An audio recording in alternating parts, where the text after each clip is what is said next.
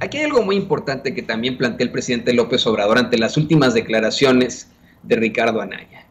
Eh, en primer lugar, el presidente le asegura, como ya le comenté, que él sabe perfectamente, Ricardo Anaya, que no lo está persiguiendo, que no es López Obrador el que está detrás de él, que lo está utilizando como una marrullería, como una maniobra, que él lo sabe perfectamente porque es un hipócrita, porque es un mañosón, es un chueco, así le pone, ¿no? Eh, y da un panorama sobre lo que realmente es ese Ricardo Anaya. Yo le quiero recordar a usted que Ricardo Anaya tiene muchos enemigos políticos. Ayer se lo planteábamos con Jorge Gómez Naredo, por ejemplo, con el mismo Enrique eh, Legorreta. Yo se lo he planteado durante mucho tiempo. Eh, están los videos. Hoy, hoy sale Javier Lozano, el saco de pusa a defenderlo.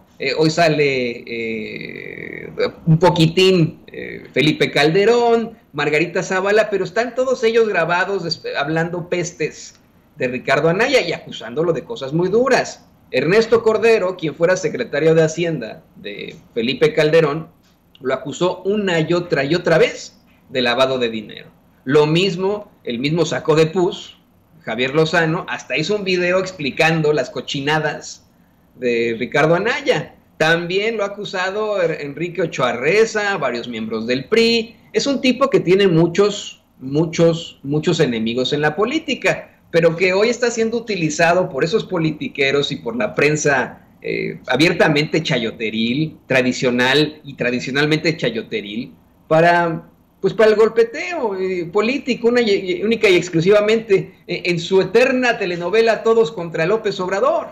Y lo más interesante es que hoy el presidente López Obrador dice que el tipo, Ricardo Anaya, pues en efecto fue avanzando, haciendo acuerdos con todos, haciendo acuerdos con el PRI, siendo del PAN, con Peña Nieto, y luego de que ya había vencido a todos y que estaba arriba sintiéndose el todopoderoso, traiciona a Peña, a quien le había dado, pues quien, quien le había dado el dinero. Eso es lo que dice el presidente López Obrador. Dice que le malaconsejaron que podía ganar la presidencia porque Peña estaba muy desprestigiado, sí decía que al ganar lo iba a meter en la cárcel y que de ahí se le fue todo encima. Dice que durante el debate, en el debate en el que él participó, el presidente López Obrador, y escuche esto, estos son palabras mayores y palabras muy fuertes, revelaciones extremadamente duras. Dice el presidente López Obrador que en el debate en el que participó junto con Anaya, con Mid, con el Bronco y otros por ahí, bueno, Gemilo Rodríguez Calderón, eh, eh, cuando Ricardo Anaya asegura que va a meter a la cárcel a Peña, él estaba junto a Mid. Y Mid, eh, sin tener el micrófono abierto ni nada, murmuró, supongo, lo dijo abiertamente y le dijo, eres un corrupto.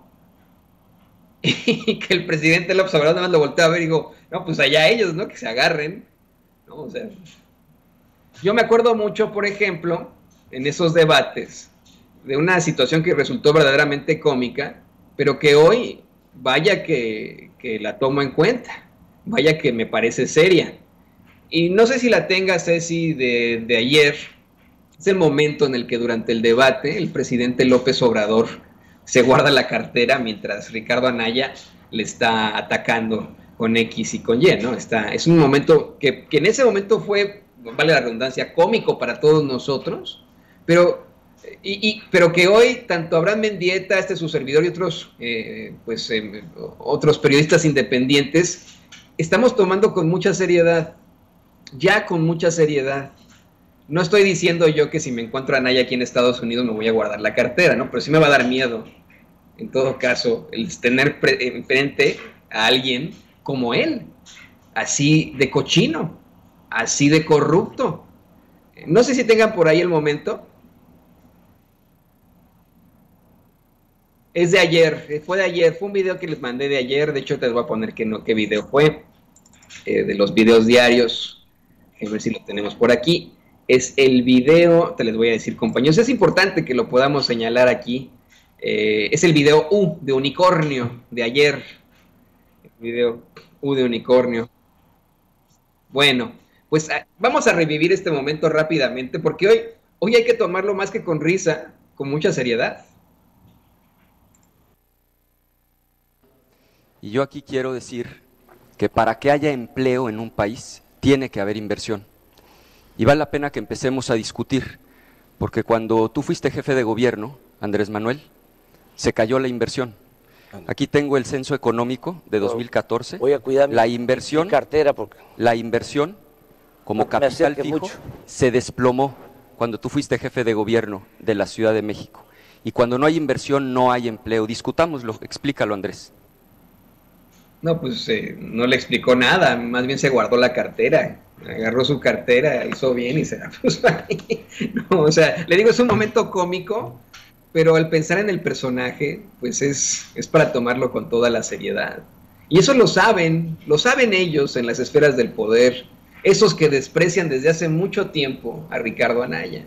Hoy el presidente incluso dijo, mire, es verdaderamente ridículo que aseguren, que, que asegure este güey que yo no quiero eh, eh, eh, que, yo no quiero que llegue a 2024, ¿no? O sea, es verdaderamente ridículo que al contrario, al contrario, esto sería políticamente hablando, sería muy, muy propositivo para su movimiento que alguien como él, ¿no? Dice, dice, dice que no, que vamos, permítame establecer esto en mi mente.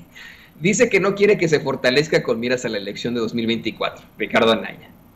Pero que para eso falta muchísimo, punto número uno, que qué chingados va a estar pensando en eso. Y que en todo caso, en términos políticos, hasta conviene tener un candidato como él. Porque pues puede ser que además pongan un candidato como Loret de Mola, eso dice López Obrador, ¿eh? como López Dóriga, el dueño de Oxo, Yunes Linares, dice el de la Coparmex, eh, se refiere a Gustavo de Walter, eh, dice puras finísimas personas, o a los dirigentes de los partidos actuales, imagínense usted. Así lo planteó el presidente López Obrador, creo que fue una gran respuesta. Yo creo que eh, Ricardo Anaya, insisto, si verdaderamente fuera inocente, se habría quedado en México desde ese tiempo. habría podido darle, vamos, a, dar, certeza jurídica y decir, esto es una persecución política. Él tiene los medios para poderse defender. Si es inocente, si verdaderamente no hay pruebas, él es abogado, él lo sabe perfectamente, no hay una causa penal, no, no, no podría entrar a prisión, no podría ser así. No, no, vamos, deje usted, pongámosle que existe la persecución política. En el estricto sentido del derecho mexicano, no podrían ni detenerlo ni meterlo en prisión si no hay una causa penal. Y él lo sabe perfectamente. Se aplica. Ocurre muchas veces con la gente pobre que no puede demostrar que no hay una causa penal con un buen abogado. Le ponen un abogado de oficio que llega con los papeles así. Ah, sí, te van a dar cinco años, lo sentimos. Bye bye. Así son esos cabrones, hijos de la chingada. Pero la, gente pudiente con dinero que tiene sus mansiones en Atlanta, Georgia, eh, los que están súper conectados, como Ricardo Anaya, por supuesto que pueden pagarse un buen abogado. Él mismo, como él se puede defender solo, porque es muy buen abogado además, me consta. Y sabe perfectamente que al no haber una causa penal, al no haber pruebas, no entraría en la prisión de ninguna forma, por mucho que exista el poder de López Obrador, que así lo quiera ver, no podría. Está en la misma situación que Rosario Robles. Hay pruebas en su contra. Hay indicios de que podría fugarse, pues ya se fugó. Y si hay pruebas en su contra, sí podría haber hoy una causa penal. Pero bueno, eh, allá, eh, Anaya,